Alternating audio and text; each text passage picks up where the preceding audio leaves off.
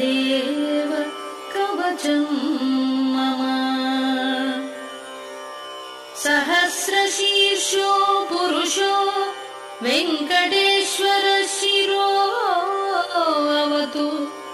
प्राणेश प्राणनिलयः प्राणम् रक्षतु मे हरिः।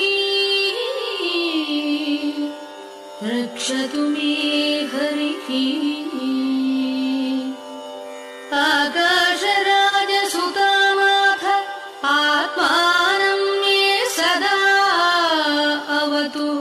देव देवोत्तमः पायाद्देहं मे वेङ्कटेश्वरः वेङ्कटेश्वरः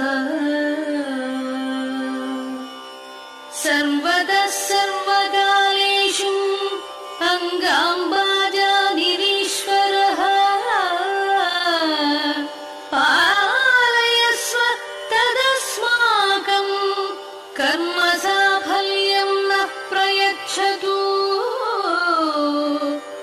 कर्म साफल्यं न प्रयच्छतु। य एतद्